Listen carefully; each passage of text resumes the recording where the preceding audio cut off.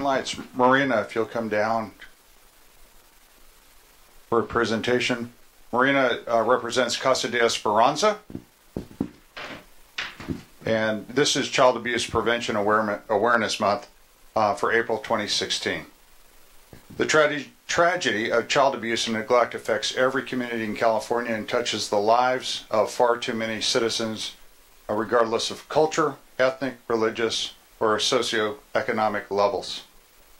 If our children are to become productive adults, they should have the right to a childhood free from neglect, physical abuse, and exploitation. Early identification and intervention are essential to the successful interruption and the generational cycle of abuse and neglect.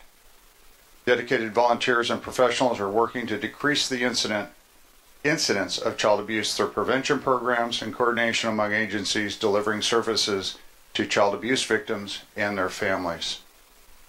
Now, therefore, be resolved that I, John Buckland, Mayor of the City of Yuba City, on behalf of the entire city, do hereby proclaim April 2016 as Child Abuse Prevention Month in the City of Yuba City and encourage all residents to join with local community efforts in making sure that every child's rights are protected and keeping all children safe, strong, and free.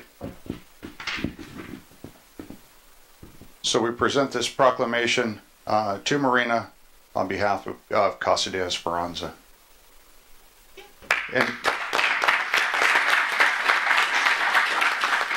and if there's just a, a few words you'd like to say regarding your programs. Um, I'd like to say that we are really, really educating our children in the schools. It's nice to um, be in the schools, and we are going to be hanging blue ribbon at the bridge, the Fifth Street Bridge, at 11:30 tomorrow. Thank you. Come join us. Blue ribbon. Please, please do. And the blue flowers on the on the dais Blue are ribbon I put back around. And, um, I love seeing all the ribbon on the bridge for every. Thank you very much. Thank you. Uh-huh.